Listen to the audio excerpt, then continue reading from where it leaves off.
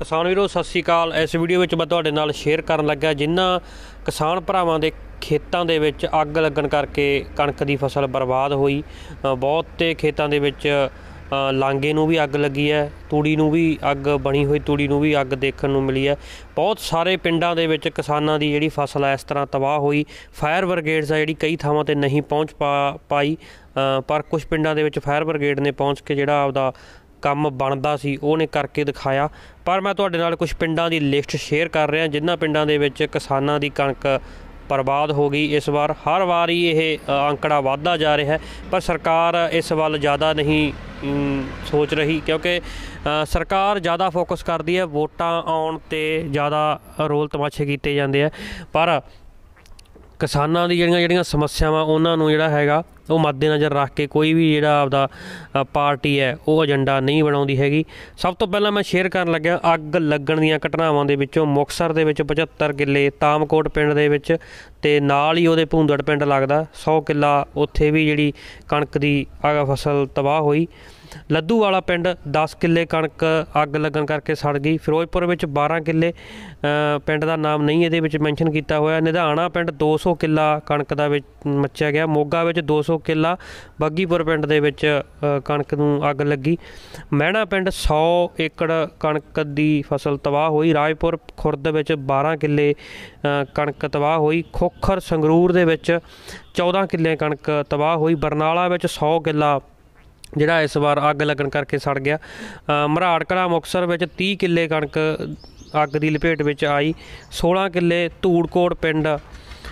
ਇਹ ਵੀ ਬਹੁਤ ਜ਼ਿਆਦਾ ਵੱਡਾ ਨੁਕਸਾਨ, ਇੱਕੋ ਹੀ ਕਿਸਾਨ ਦੀ ਕਣਕ ਸੀਗੀ ਜਿਹੜੀ ਇਹ ਮੱਛੀ। ਮੱਚੀ 400 ਕਿੱਲਾ ਹਮਾਜਾਪੁਰ, ਫਤਿਆਬਾਦ ਦੇ ਵਿੱਚ, ਜਿੱਥੇ ਕਿ ਕਣਕ ਦੀ ਅੱਗ ਲੱਗਣ ਕਰਕੇ ਕਾਫੀ ਵੱਡੀ ਬਰਬਾਦੀ ਹੋਈ, ਸਵਾਹ ਦੇ ਵਿੱਚ ਬਦਲ ਗਈ। ਬਿਲਗਾ ਜਲੰਧਰ ਦੇ ਵਿੱਚ 20 ਕਿੱਲੇ ਕਣਕ ਆ ਜਿਹੜੀ ਉਹ ਬਿਲਕੁਲ ਸੜ ਗਈ। ਗੁਰਹਾਰ ਸਹਾਏ ਵਿੱਚ ਸਰੂਪ ਵਾਲਾ 262 ਕਿੱਲੇ ਕਣਕ ਆ ਜਿਹੜੀ ਬਿਲਕੁਲ ਤਬਾਹ ਹੋ ਗਈ। ਕੈਥਲ ਚ ਹਾਬੜੀ 3000 ਕਿੱਲਾ ਸਭ ਤੋਂ ਵੱਡਾ ਰਕਬਾ ਜਿਹੜਾ ਇਸ ਏਰੀਏ ਦੇ ਵਿੱਚ ਅੱਗ ਲੱਗਣ ਕਰਕੇ ਤਬਾਹ ਹੋਇਆ। ਫਿਲੌਰ ਦੇ ਵਿੱਚ 1000 ਏਕੜ, ਘੱਟੋ ਘੱਟ ਪੰਜ ਪਿੰਡਾਂ ਦੀ ਜ- ਘੱਟੋ ਘੱਟ ਜ਼ਮੀਨ ਆ ਜਿਹੜੀ ਲੱਗ ਰਹੀ ਸੀ, ਤਾਂ ਉਹਨਾਂ ਨੂੰ ਅੱਗ ਲੱਗਣ ਕਰਕੇ ਨੁਕਸਾਨ ਹੋਇਆ। ਰਾਏਪੁਰ ਰਾਈਆ ਦੇ ਵਿੱਚ 7 ਕਿੱਲੇ ਕਣਕ ਤਬਾਹ ਹੋਈ ਮਹਾਰਾਜ ਦੇ ਵਿੱਚ 100 ਕਿੱਲਾ। ਮਹਾਰਾਜ ਟੂ ਯੂਨੀਵਰਸਿਟੀ ਰੋਡ ਤੇ 100 ਕਿੱਲਾ ਕਣਕ ਆ ਜਿਹੜੀ ਅੱਗ ਲੱਗਣ ਕਰਕੇ ਤਬਾਹ ਹੋਈ। ਪੰਨੀਵਾਲਾ ਮੁਕਸਰ ਦੇ ਵਿੱਚ 40 ਕਿੱਲੇ ਕਣਕ ਤਬਾਹ ਹੋਈ। ਕੋਟ ਫੱਤਾ ਬਠਿੰਡਾ ਦੇ ਵਿੱਚ 25 ਕਿੱਲੇ ਕਣਕ ਅੱਗ ਲੱਗਣ ਕਰਕੇ ਸੜ ਗਈ।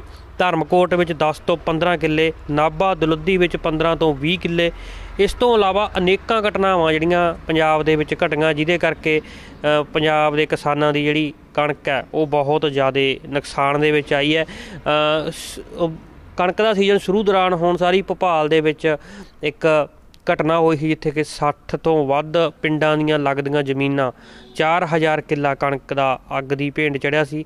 ਪਰ ਬਹੁਤੀਆਂ ਸਰਕਾਰਾਂ ਜਿਹੜੀਆਂ ਹੈਗੀਆਂ ਆਪਣੇ ਏਜੰਡੇ ਨੂੰ ਇਸ ਪੁਆਇੰਟਾਂ ਤੋਂ ਦੂਰ ਰੱਖਦੀਆਂ। ਉਹ ਹੋਰ ਪੁਆਇੰਟਾਂ ਦੇ ਉੱਤੇ ਜ਼ਿਆਦਾ ਆਪਣਾ ਏਜੰਡਾ ਬਣਾਉਂਦੇ ਬਣਾਉਂਦੀਆਂ।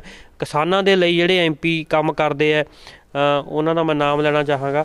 ਧਰਮਵੀਰ ਗਾਂਧੀ ਜੀ, ਭਗਵੰਤ ਮਾਨ ਜੀ, ਪੰਜਾਬ ਦੇ ਵਿੱਚ, ਜਿਨ੍ਹਾਂ ਨੇ ਕਿਸਾਨਾਂ ਦੀ ਫਸਲ ਦੀ ਰੱਖਿਆ ਲਈ ਫਾਇਰ ਬ੍ਰਿਗੇਡ ਦਿੱਤੀਆਂ ਸੀਗੀਆਂ, ਉਹਨਾਂ ਨੇ ਬਾਖੂਬੀ ਕੰਮ ਕੀਤਾ ਤੇ ਕੁਝ ਪਿੰਡ ਦੇ ਕਿਸਾਨਾਂ ਨੇ ਆਪਣੇ ਪਰਸਨਲ ਲੈਵਲ ਤੇ ਮਿਲ ਕੇ ਫਾਇਰ ਬ੍ਰਿਗੇਡ ਬਣਾਈ ਆ। ਉਹਨਾਂ ਦਾ ਵੀ ਬਹੁਤ ਬਹੁਤ ਧੰਨਵਾਦ।